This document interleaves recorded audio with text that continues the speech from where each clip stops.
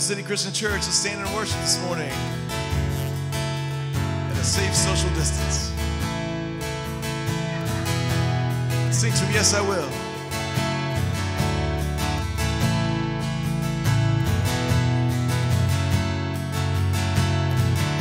Count on one thing. Here we go.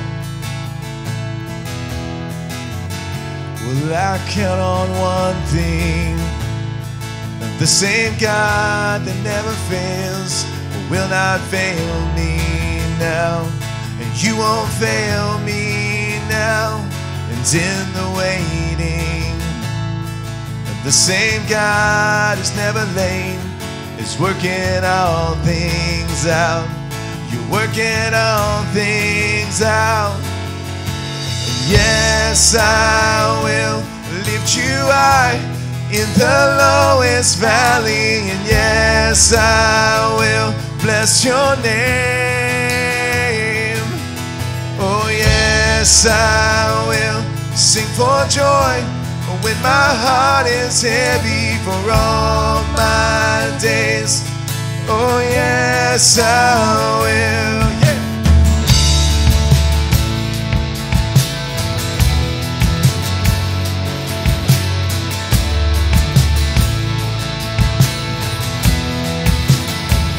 I count on one thing the same God who's never fails will not fail me now.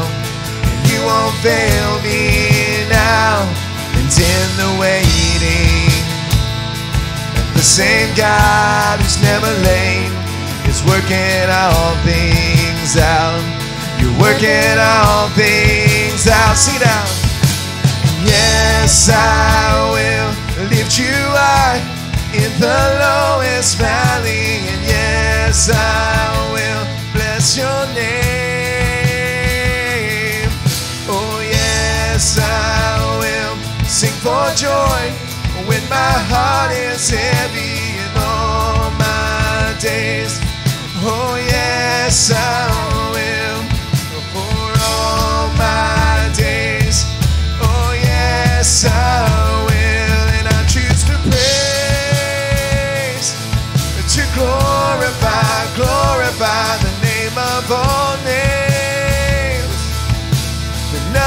stand against. And I choose to praise, to glorify, glorify the name of all names. That nothing can stand against, and I choose to praise,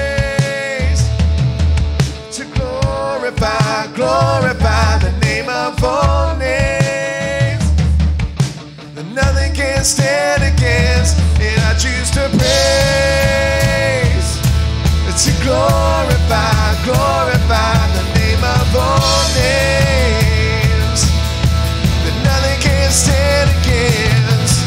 Oh, yes, I will lift you high in the lowest valley. And yes, I will bless your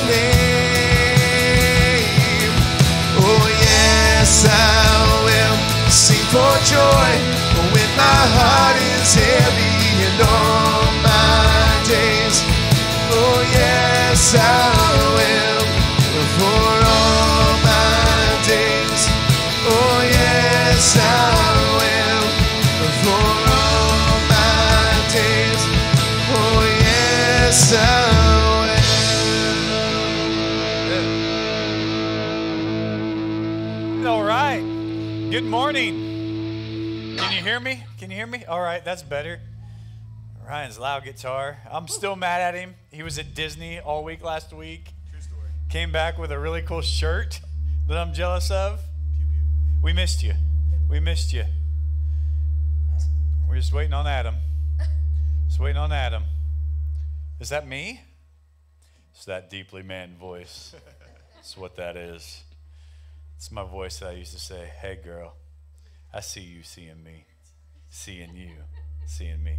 Um, anyways, I just want to welcome you guys to Falls City. Um, it's great to be back. Uh, last week we were a little light, but seems like things are, are picking up some.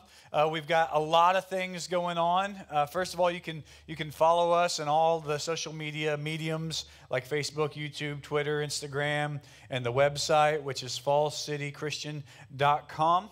Um, also, uh, right now uh, we just kicked off volleyball season, church volleyball season. We have two teams. One team played uh, last Monday night, and evidently they're just super awesome.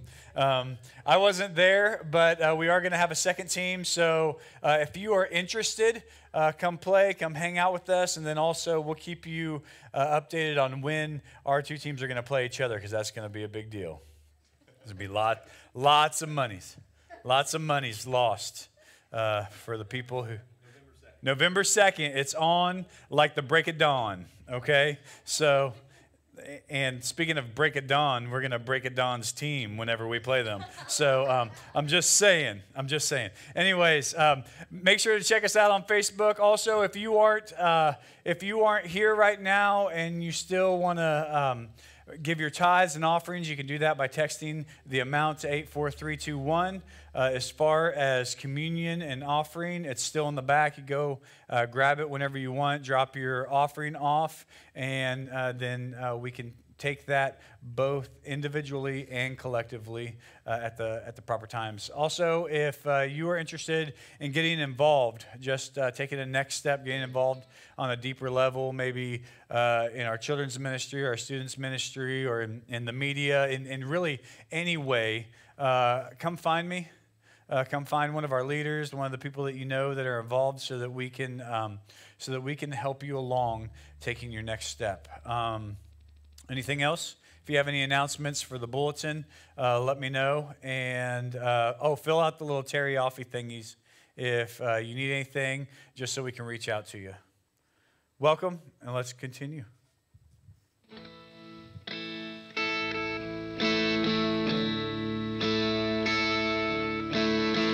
This song's pretty special. It's called This We Know.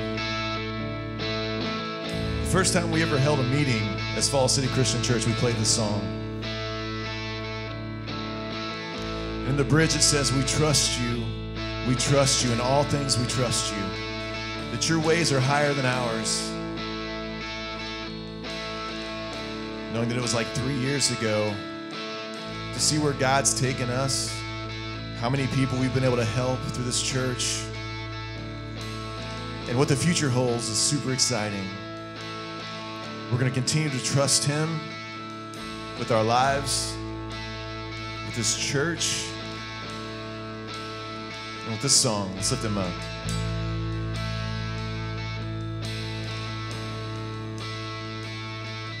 You are who you say you are.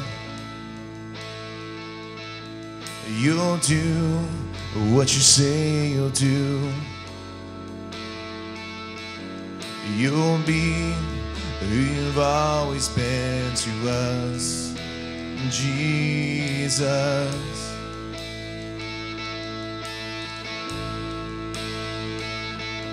And our hope is in you alone, and our strength in your mighty name, and our peace in the darkest day remains Jesus. Yes, we know. And this we know, we will see the enemy run. This we know, we will see the victory come, and we hold on every promise you ever made. Jesus, you are unfailing.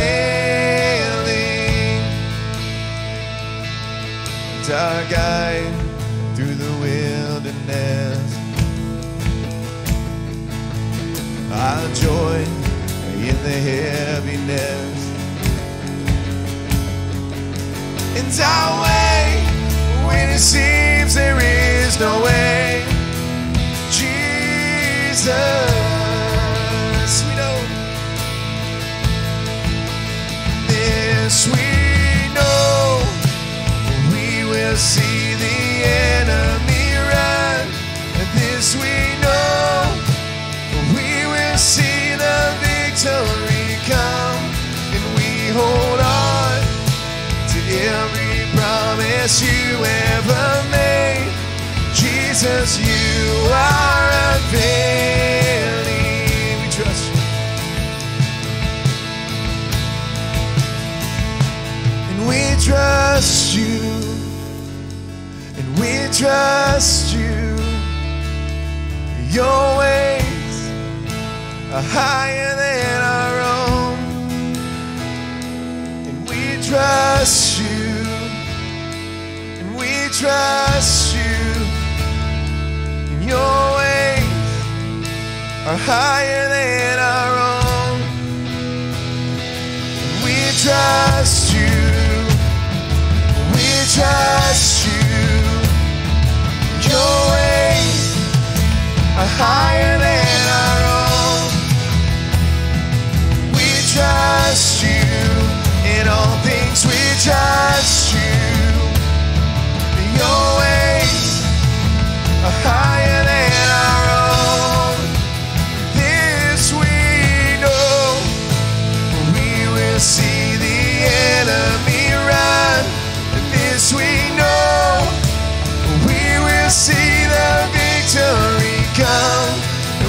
hold on to every promise you ever made.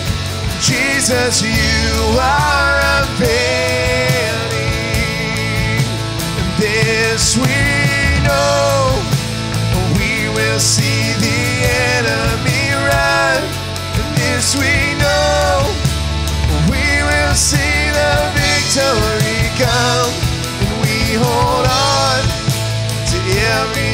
promise you ever made. Jesus, you are unfailing. Oh, Jesus, you are unfailing. Oh, Jesus,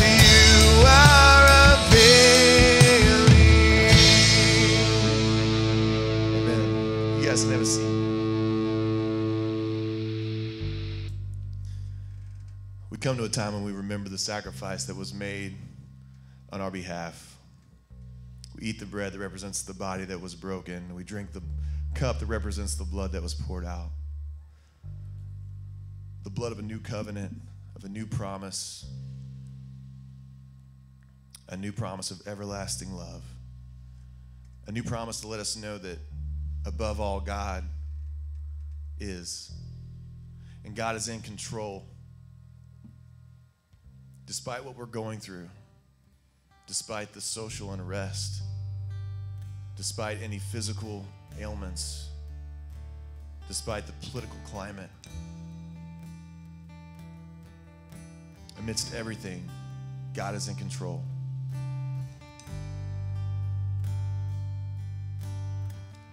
There's been unrest in our world since the fall of man. And today is no different. But scripture says that God is love. And that's where our hope lies. Our hope lies with Him, the one that poured it all out on the cross for our sins, that offered His life as a perfect sacrifice so that our sin debt could be paid and covered.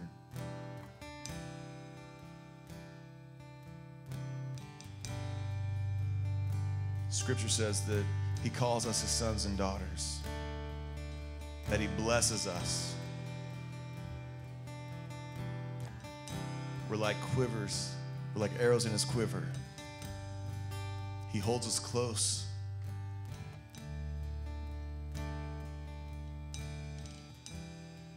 And He portrayed that when He went to the cross and sent His Son. Because even at that moment when His Son was dying on the cross, God was in control. And he knew this had to happen so that we could have an eternal, everlasting, fulfilled life with him. his son being an example of how we should live and love. God's in control. And God continually blesses us. As we sing, this is your time to worship with communion, to honor Him with tithes and offerings if you haven't already, and just to lift Him up and thank Him for who He is, to thank Him that He is in control. Is your time. God, we just thank you so much for giving this, for giving all. It's in Jesus' name.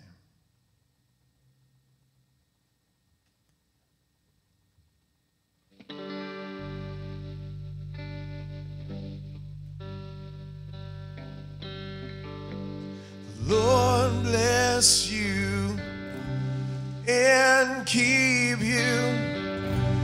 Make his face shine upon you and be gracious to you.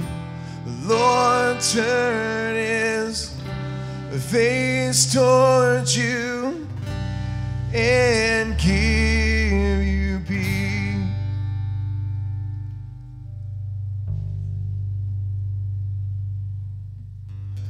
The Lord bless you and keep you. Make his face shine upon you and be gracious to you.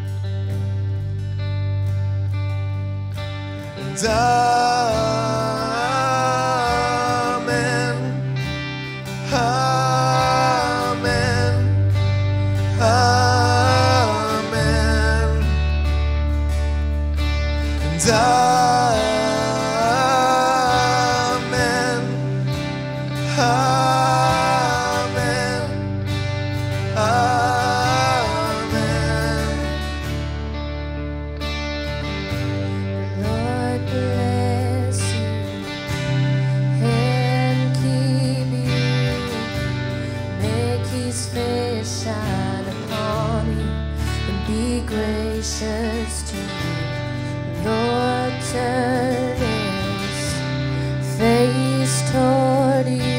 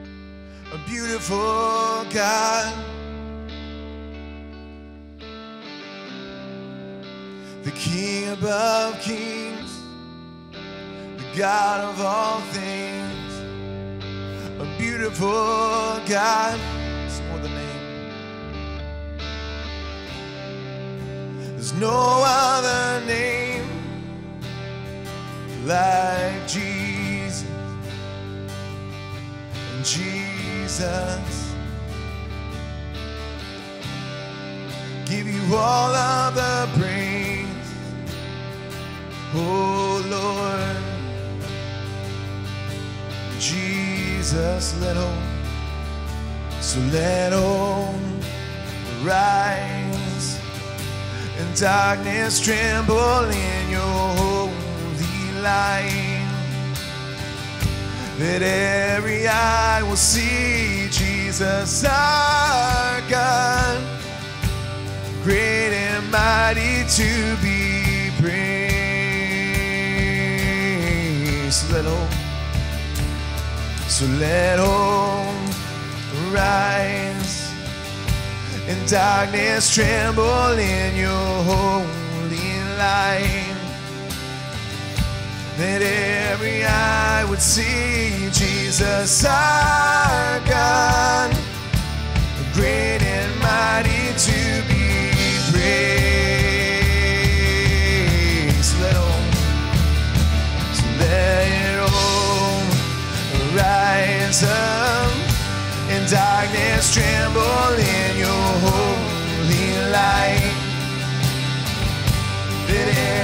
I would see Jesus, our God.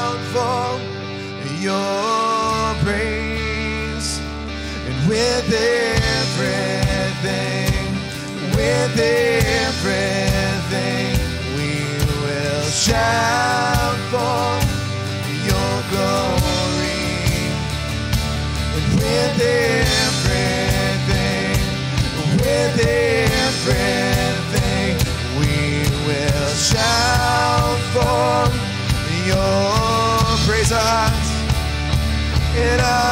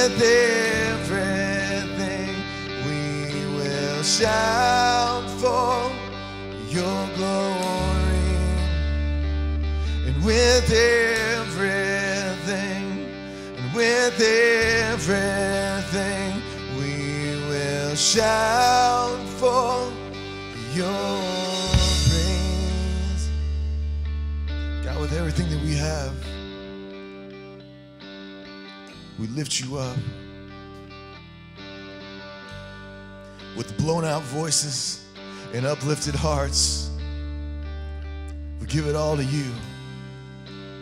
The Alpha and the Omega, the beginning and the end, who was and is and is to come.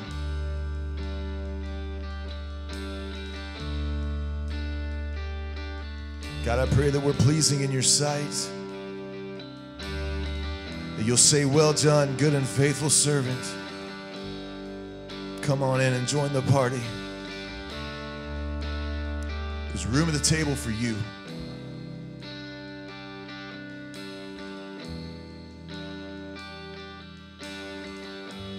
Thank you so much for allowing us to worship freely.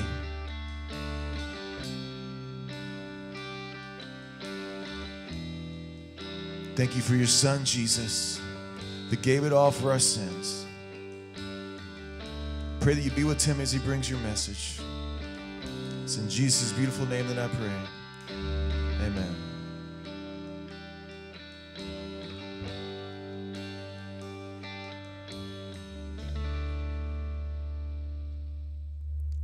I'll tell you what, it makes a huge difference when you have a group of people who are willing to put in the work to set the tone, to really kind of create the environment for us to be uh, where we're at um, physically, emotionally, spiritually right now.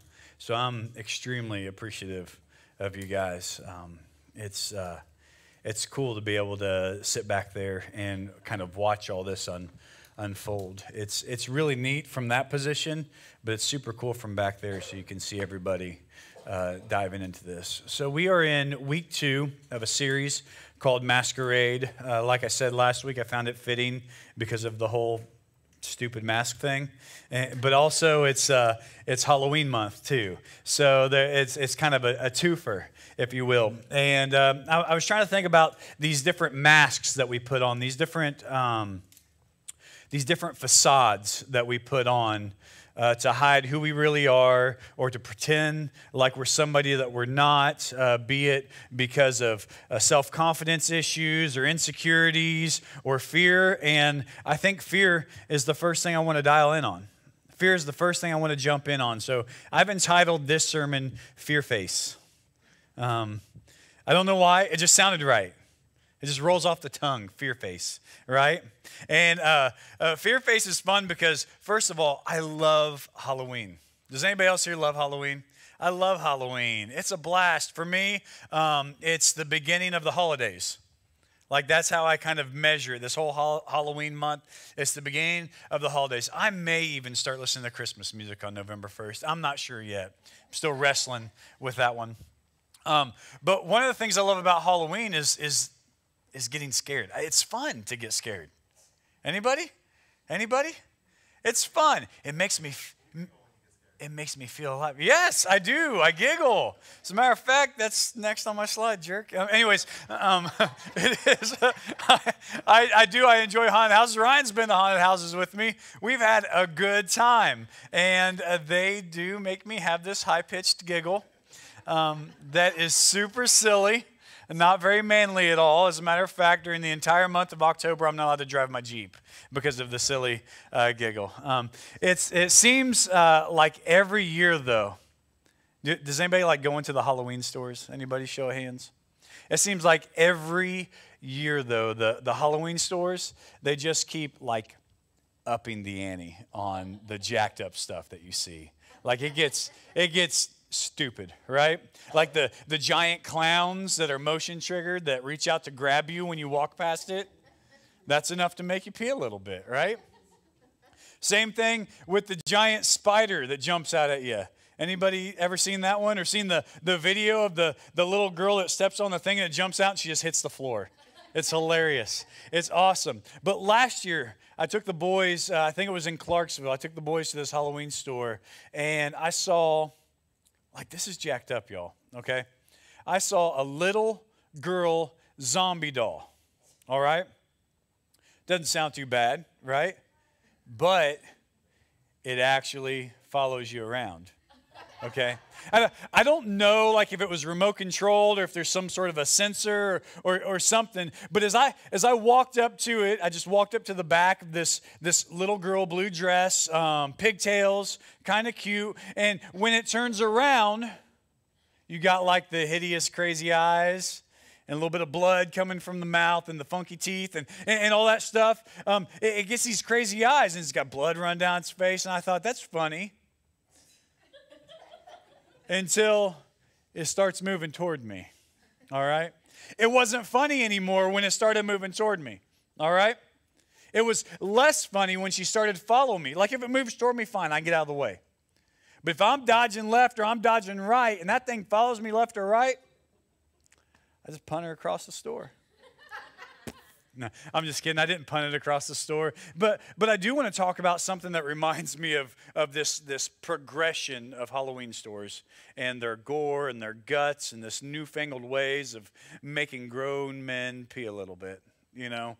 Um, because because I've noticed, I've noticed over the years like i'm a i was born in the 70s i'm kind of an 80s kid and my heyday was in the 90s and and i'm kind of this cross between old school new school vibe. Like i i, I was one of those guys that say i played out in the woods all day without anybody uh, worrying about me. I was one of the kids that got whipped with uh, hot wheels tracks and fly swatters and my mom spanked me with a moccasin once. I don't know what that was all about I didn't even know we were like Native American. It was crazy. But, but I've noticed over the years that culture has kind of done this same thing to us, right? They've, they've, they've upped the ante on this fear factor thing. I'm sure that part of it's because we've got so much uh, information at our fingertips. I said fingertips, no pun intended, Dawn. Um, she hit her fingertip with a hammer and broke her finger. So, um, but uh, the other part uh, of it is I think that fear is marketable. Fear is a cash cow, right? That's why Halloween stores up the ante every year because fear is a cash cow. And I think that the media and politics and culture and society and the world has kind of bought into that, right? Uh, the ones who can produce and deliver fear are typically the ones who are in control over the ones who react to it. Does that make sense? The ones who can produce that, who can fabricate that, who can leverage that, are typically in control over the ones who react to it. I honestly see an entire nation of people falling into this trap right now. And we think it'll be over in a month. But just like the Halloween stores, there is always a new and improved creepy zombie girl doll just around the corner. Just waiting to chase you. Just waiting to chase you around, make you, make you look stupid in front of your kids, right? and so, how do we respond to this? It's funny when it's a Halloween store, it's not funny when it's our livelihoods. How do we respond to this? Knowing that there will always be something next, but not knowing the level of shock that comes with it, right? I know there are things, people, situations, and circumstances that, that can hurt me, but that shouldn't keep me from living a life of faith and hope, right? I, I want to unpack a brief part of a story uh, that most of us are pretty familiar with. Are you guys familiar with uh, David and Goliath? Yeah, most of you. Anybody not hear about David and Goliath? I can give you the, the rundown. Okay, we're good. You just saved yourself like 45 minutes of a sermon. Um, I'm just kidding. Whoever said that was a jerk. But um, there, there's, no, there's no doubt that there's plenty of danger, right? There's no doubt that there, there's, there's plenty of danger and fear in, in, in this camp right now because David is going to this camp, okay?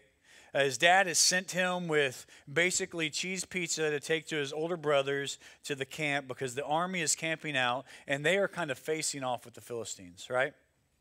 And here's how David responds. It says this in 1 Samuel chapter 17. It says, Don't, don't worry about this Philistine, David told Saul. I'll go fight him. Saul replied, uh, There's no way you can fight this Philistine and possibly win. You're only a boy, and he's been a man of war since his youth. By the way, this dude was almost as tall as a basketball goal. All right, like the rim, like a regulation size basketball goal. Goliath was almost as tall as that. All right? He says that this guy's been a, a, a man of war since his youth, but David persisted. I've been taking care of my father's sheep and goats, he said.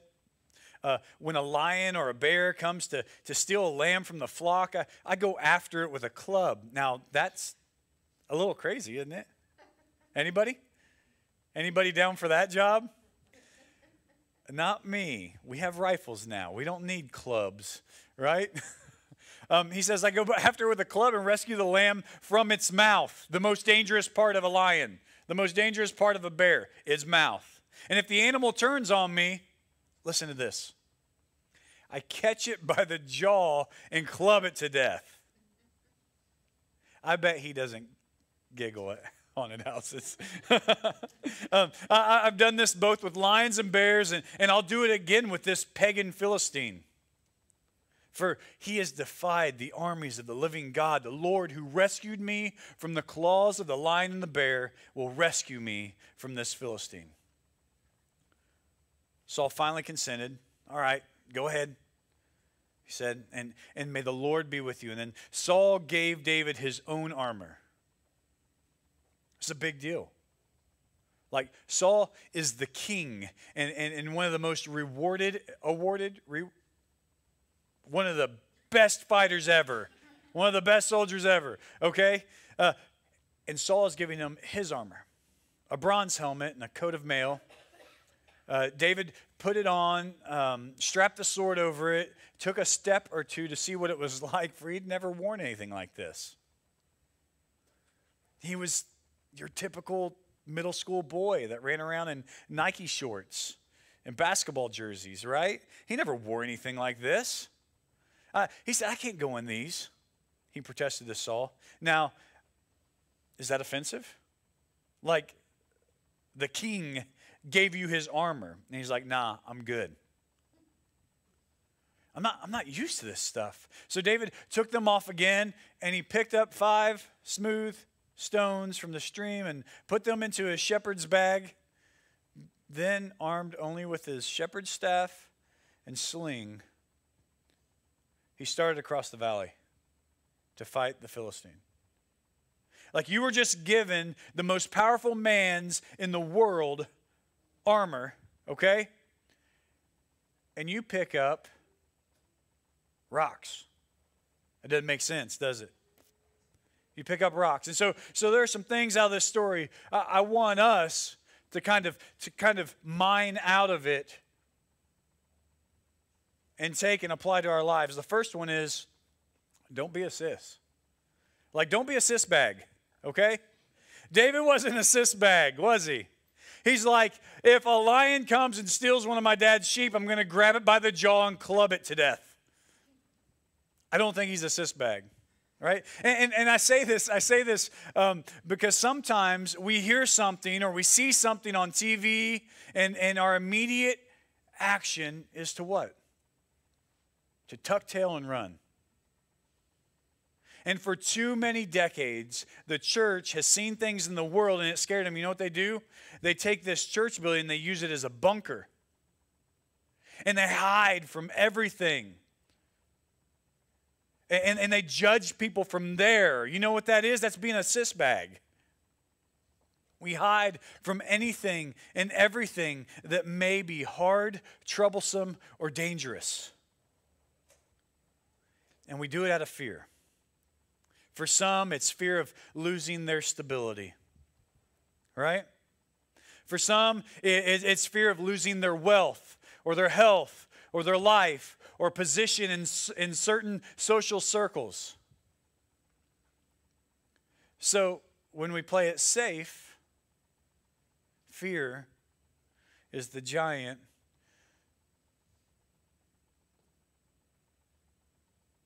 that is in the presence of our lives, right? Fear is that giant that's staring at us and, and, and mocking us. Fear is that giant. If we don't face some of these fears in our lives, and if we don't take next steps of our faith, well, then we end up like this Israelite army, right? David shows up thinking that he's just bringing food to his brothers, and he sees thousands of cowards. Thousands of cowards. Check this out. It says the, the Philistines now mustered their army uh, for battle and camped between Socoh, which is, I'm assuming, the town where Southern Comfort was made, um, in Judah, and uh, Azekah at Ephes uh, Demim, or something like that. Um, Saul countered by gathering his Israelite troops near the valley of Elah. So the, so the Philistines and Israelites faced each other on opposite hills with a valley between them. Then Goliath, the Philistine champion from Gath, came out of the Philistine ranks to face the forces of Israel. He was over nine feet tall. He wore a bronze helmet and his bronze coat of mail. It weighed 125 pounds. That's a middle schooler, y'all. Like his jacket weighed the same as a middle schooler. He also wore leg armor and he carried a bronze javelin on his shoulder. Uh, the, the shaft of this spear was as heavy and thick as a weaver's beam, tipped with an iron spearhead that weighed 15 pounds. His armor bearer walked ahead of him carrying a shield. He was probably the safest guy on the field because his shield was probably big enough for his armor bearer to just straight up hide behind, right? Goliath stood and, and shouted a taunt across uh, to the Israelites. Why, why are you all coming out to fight? He called. I am the Philistine champion, but you're only servants of Saul. Choose one man to come down here and fight me. If he kills me, then we will be your slaves. But if I kill him, you'll be ours. I defy the armies of Israel today, he says.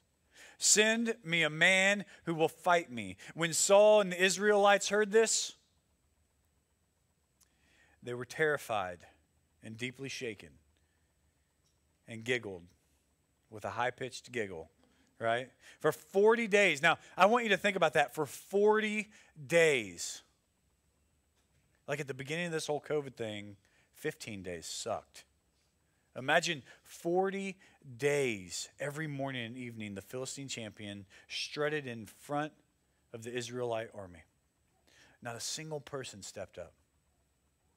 For 40 days, they cowered in fear. They lived in fear. They, they would go to sleep at night in their tents, maybe sleep, because they don't know if somebody's coming to attack them. Could you imagine how exhausting that must be? Fear caused this nation of people to sit and be yelled at and be demeaned and, and, and taunted and called out for 40 days. I mean, would you endure that for over a month? Guys, it's, it's not like quarantine. They're camping. First of all, that sucks, right? Unless it's like an RV, right? Where you have a heater and air conditioning, at least a 42 inch screen TV, right? And, and just across the valley uh, from the army that wants to kill them. They're, they're getting very little sleep, very little food, and they're constantly looking over their back for the Philistines to come and kill them. This is what fear is causing them to endure. And each day their bully would come out and challenge them, knowing that they were bags, right? And regularly, on the regular, twice a day, killing their spirit over and over again. I said earlier that we value our comfort and our stability. Do we not? Yeah, we do. But to what point and at what cost? They, they didn't even give God a thought until one person who had faith came onto the scene. They were more worried about saving their hind ends, right? They were more worried about their comfort. They were more worried about not being the guy to go fight the giant and they didn't think about God until David comes on the scene. And they even tried to talk him out of it. Why? Because they were owned by fear and they were not living a life of faith and hope. As a matter of fact, they allowed fear to rob that for them. So, so, so what is it in your life? What is it in your life that has been threatening you? that's been taunting you, that's been demeaning you, that's been threatening your livelihood. And by livelihood, I don't mean your 401k. All right? I mean your calling to be more than you have been, to be all that you've wanted to be your entire life, but you've gotten stuck in this comfort trap and you're afraid to lose it. The writer of Hebrews tells us this. He says, Don't love money be satisfied with what you have. For God has said, I will never fail you, I will never abandon you. So we can say with confidence, The Lord is my helper, so I will have no fear. What can mere people do to me? Like if your hope is in God, death isn't even something worth being afraid of. It's not. It sounds weird and I probably don't mean it the way it's going to come out, but it's actually something to be excited about because imagine that next adventure that you have when you're face to face with your Savior. These are, these are two verses built with a ton of punch here. He says, Don't love money, be satisfied with what you have, right? What does, what does money buy us? What, and, and, and, and what's the point of our existence? Is it, is it for money? Like, do we live for money? No, I think we earn money so that we can live, so that we can have a, a life, right? Is, is money the point of our existence? Is like, is the reason that you were created and the reason that you are here on earth, is it to make money? Is it to, is, is it to make yourself as comfortable as you possibly can be? Do you think that God, whenever He wove you in your mother's womb, was like, go get comfortable, y'all? Make that money. This is, this is Doug Kendall. Dollar dollar bills, y'all. Doug Kendall, right? I mean, is that why we were created to make money? I don't think it was. As a matter of fact, when God created man and woman, money didn't exist. So we weren't created for money. Actually, money was something we created for us. So, why were you created? How are you hardwired personally? Why are you created? Uh, what should you be doing? And why aren't you? My guess is fear. Then he goes on to say, don't live in fear. God is A, with you, and B, will never abandon you. He's not like, oh, this is getting a little too crazy for me. I'm out. Right? Like, your dysfunction doesn't scare him. He saw it coming. For some of you, everybody saw it coming. I'm just saying, right? your dysfunction does not scare him. Then you can say, The Lord is my helper, so I don't have to fear. Like, fear doesn't have to eat my lunch. Fear doesn't have to own me. Fear doesn't have to cause me to climb into my tent and cower and constantly look over my shoulder. We cannot sit at camp and be yelled at by our problems and expect to be living our best life. You can't expect that. You don't get both of those. You do not get comfort and living your best life at the same time. Am I right? I just don't think you can. The Israelites were being giant sis bags, just, just cowering to this giant of a problem. Not one person saying, why, why am I here? Not one person saying, Well, am I not a soldier? Am I not here to protect my people? Am I not here to protect God's people? Until David showed up and he's like, well, Why am I here? Well, I thought it was to deliver cheese pizza. This kid who wasn't a sissy, who, who, who it leads me to my, to my second and final point. Don't be a sis bag, but also don't be reckless.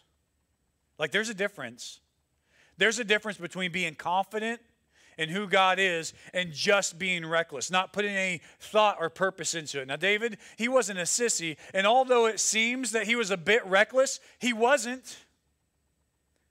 Now, if I'm sitting on my couch watching Netflix and I see a reality TV show where a shepherd grabs a lion by the jaw and clubs him to death, that seems reckless to me, right? But he, but he knew what he was doing. He understood the power of God. He understood his uh, abilities and his boundaries. He also saw Goliath for what he was a big, dumb animal. That's all Goliath was to him a big, dumb animal. Right? Driven by nothing but his appetite. That's why lions do lion crap, right? That's why bears do bear crap, right? Because they are big, dumb animals that are driven by nothing but their appetite. And so he says, he says, don't, don't worry about this Philistine. He's a big, dumb animal, right? I'll go fight him. Saul says, don't, don't be ridiculous. Like, that seems a little reckless, grabbing a lion by the jaw and clubbing it to death. It's a little reckless, David, right? There, there's no way you can fight this Philistine and possibly win. You're only just you're just a boy, and, and he's been a man of war since his youth. But David persisted. I've been taking care of my father's animals. And when something threatens what belongs to my father, I grab it by the jaw and I club it to death. Right? I know what's important. I, have done this with both lions and bears. I'll do it again with this big, dumb animal that's standing in front of us that you have allowed to, to shout you down twice a day for the past 40 days. He's defied the armies of the living God. He says, I've seen this before. I've, I've fought this before. I've conquered this before. It just looks a little different. Instead of looking like a lion or a bear, it's a man. and he's just driven by his pride and his appetite. He wasn't reckless. He recognized the situation. That's not reckless. Taking a moment to stop and assess the situation is not reckless. He recognizes it. Not so different from things that he had conquered before. It is, it is actually a, a pretty good use of common sense. How many of us are so reactionary that we don't pause for a second and assess the situation or the circumstance that we're in? And then we get overwhelmed and we overreact, and then we look back on it and we're like, well, that wasn't as bad as it played out in my mind which seems to escape a lot of people. Common sense. Whenever they're driven by fear. And, and the kicker, the kicker of, of assessing the situation, saying that's just another big dumb animal, is that he knew who he was and he knew who God was. Right? He knew who he was and he knew who his father was. He has defied the armies of the living God, is what he said. He is threatening the lives of, of uh, that my father cares about. He understood that God wasn't pleased either. God was just waiting on somebody to assess the situation and step in, not be a sis bag, right? He just needs the right weapon to swing. And that came in the form of a little boy with huge faith and a huge amount of hope. Another thing that David calculated was the tools that he would use to get the job done. Anybody ever start like a, a home improvement um, job and not have the proper tools? And then you find other tools that might work just as well, but then it makes a bigger mess and you get frustrated, and then you have to hire somebody and it ends up costing you more in the long run. And then your wife hits you. I mean, no. Um, Anybody do that? Anybody try and do a job without the proper tools? All it creates is frustration. But he has he has calculated the tools that he needs to get this job done. It says, Then Saul gave David his own armor, uh, a bronze helmet, and a coat of mail. Uh, David put it on. He, he strapped on the sword over it, and he took a step or two to see what it was like. And he's like, This ain't for me. This ain't how I roll. This might be good for you, but you're a lot taller than I am, and, and your breastplate is smacking me in the shins. And nothing is worse than, than taking a shot to the shin. If you've ever run into a truck hitch, a Reese hitch, then you know that you can't go to war like that, right? He said, I'm not used to them. So David took them off and he picked up five smooth stones, which sounds ludicrous, right? From a stream and he put them into his shepherd's bag, his man purse. Like, this is a guy who is putting rocks in his man purse to throw at a giant. It sounds crazy, but he is calculated. Then, armed with only a shepherd's staff and sling, he started across the valley to fight the Philistine. David knew who he was, he knew who God was. He knew how he, knew how he, he fought, and he knew how he couldn't fight. And just because everyone else fought that way, right? Just, just because everybody else had a, a, suit of armor, just because everybody else had chainmail, just because everybody else had a breastplate, just because everybody else had a giant sword, doesn't mean that that's how he was going to fight. As a matter of fact, the fact that he didn't fight that way made him who he was. There's something huge about throwing off the armor of Saul. And he said, Nah, this is not how God prepared me. I know this is how you guys think I should be prepared, but this is not how God has prepared me. So he picks up some rocks and a stick, which seems stupid, but not when you're a shepherd, and not when you've been protecting the flock not whenever you know what you're doing with what you're doing it with. And I'd be willing to say if David would have gone out with somebody else's weapons, Goliath would have torn him apart. He'd have been torn apart, and the people would have been enslaved to the Philistines. but because David used what he was given. And we're going to talk about this later in this series about insecurity and feeling like you don't add up and comparison. Eh, because David get, used what he was given and didn't allow the fear of what the other soldiers and even the king had to say to dictate who he was. He was the one who conquered the giant. Not the king with the armor, not the soldiers who have been camping out for 40 days, right? He was the one who conquered the giant. He was the one who freed the people. He was the one who got to claim the victory in the name of God. While all the others, these soldiers with their armor and their swords, they sat and they lived in fear and they watched. And the more they watched, the more fearful they became this event of a, of a young man overcoming fear and fighting with the weapons that he had ultimately led him to the throne. It wasn't long before he wasn't just David, but he was King David. He was the focal point of the bloodline that brought us Jesus Christ. Right? This one defining event that was drenched in fear by the culture that he was in. This fear, but it was overcome by a young man with faith and hope and a freaking handful of rocks. Imagine what God will do in the face of this, this fear culture. If you step out with what God has given you and you trust Him. It, you may feel like it looks as stupid as a handful of rocks. But what he can do with a handful of rocks is way more than what you could do with anything that you could gather up on your own. You see, fear is a weird thing. There's a balance there.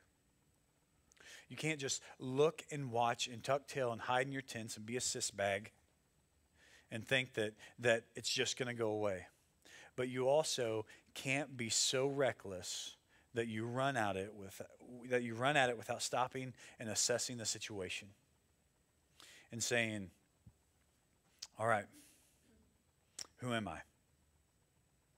More importantly, whose am I?" And because of whose I am, what has He given me to fight with?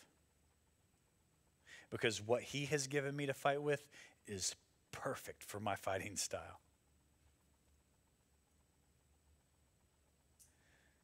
And if you step out, instead of step back and hide, instead of tuck tail and hide, if you step out in faith and you fight that fear, it won't be long. You'll be standing over top of that giant with its head in your hand. And it won't be long that you'll, you'll experience a freedom that you've never experienced before. But it takes work, and it takes faith.